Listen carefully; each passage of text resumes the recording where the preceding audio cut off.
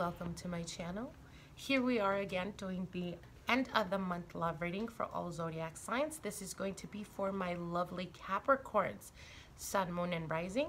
Let's get right into your reading, Capricorn. Let's see what Spirit has for you guys for the month of, or the end of October, beginning first week of November. Now, your first card here, Capricorn, you have the Knight of Pentacles. So this is your energy, Capricorn. I definitely see you guys very focused. Some of you guys may be traveling. Others of you may be um, trying to attain or achieve a goal, something that you guys have been working on for quite a while now. Um, let's see what else. We have the High Priestess Capricorn. Very intuitive type of card. This um, is the all-knowing and that which is hidden. Listen to your intuition, Capricorns, for the end of October, beginning of November. Your energy is going to be very receptive uh, to spirits um, coming through, um, whether it's your spirit guides or whether it's your ancestors. I definitely do see you guys very connected to this, so pay very close attention to that. Now, your third card here is the Queen of Wands. Queen of Wands uh, could represent a fire sign. Fire sign would be an Aries, Sagittarius, or Leo. It could also represent um, being more confident in yourself and believing in yourself, Capricorn. Now, your third card here is the King of Pentacles. Okay.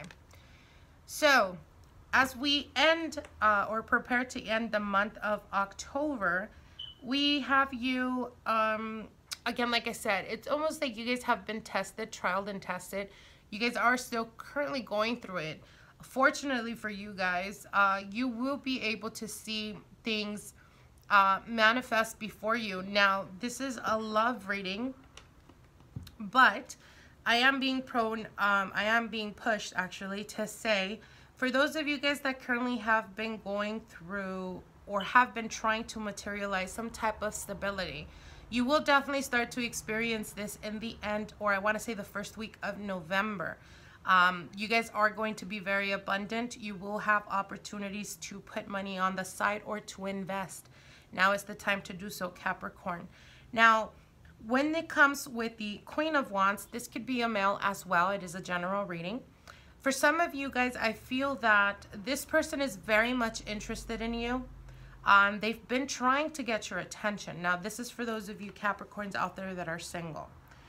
Um, I feel that they have been trying to connect with you, but it's very difficult for them to decipher you, or it's very difficult for them to understand if you are interested in them or not. For some of you guys, you may be distracted with the water sign. A water sign would be a Pisces, Cancer, or Scorpio. Nonetheless, the High Priestess is here to tell you, listen to your intuition. People that are going to start to come into your life are, there is... Um, it's not coincidence, okay? They're coming into your life for a purpose and a meaning. Pay attention to that. Those things that are not currently working in your life, now is the time to release and let go, Capricorn. Stop holding on to anger. Stop holding on um, to resentment from people from the past. You've learned this and you've already expanded. So let go of this and go into, again, like I said, the ending of October, beginning of November with a much more positive and much more focused type of energy. Now, the high priestess again is here to tell you listen to your intuition. That which you're wanting to know, you already know. You have the answer within yourself. You have to believe in yourself and be confident in yourself.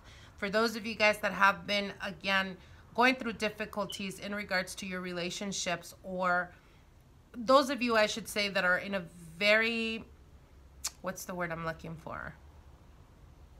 complex situation. For some of you guys that are dealing with people that are married or that have been, you know, that are legally bind to someone, um, but that relationship is not working, what the cards are definitely telling you, Capricorn, is, again, remember what, you know, what you start wrong, more than likely is going to end wrong. So do not put all your eggs in one basket.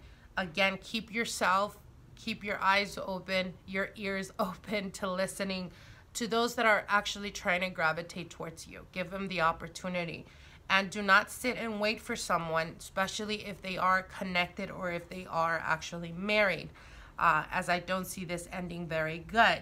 Um, the high priestess is definitely telling you that things will come out in the open and you will have much more clarity.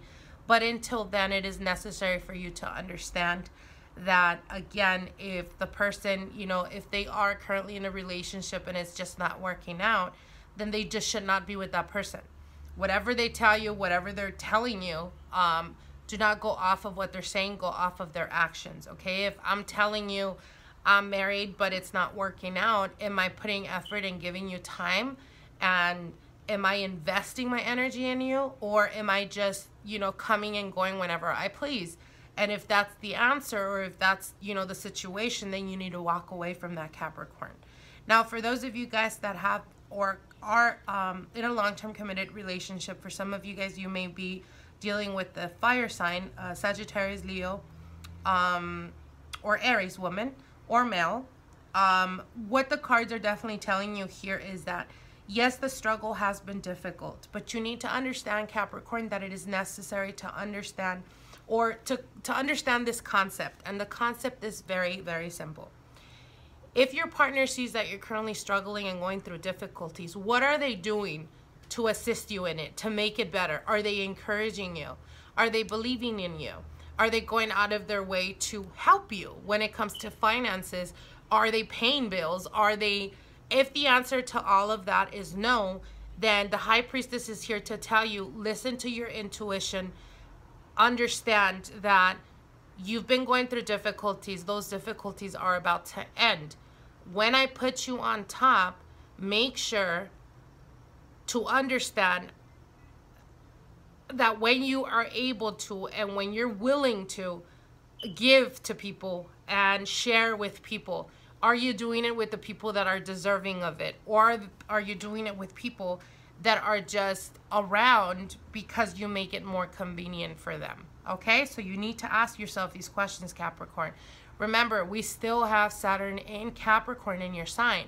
So there is a lot of karmic type of endings and lessons that we need to go through that are no longer going to repeat, but you have to make sure that you learn from them, okay? So I hope you guys enjoyed this. Like, share, and comment. If you haven't subscribed to my channel, definitely subscribe. And we'll see each other in November. Bye.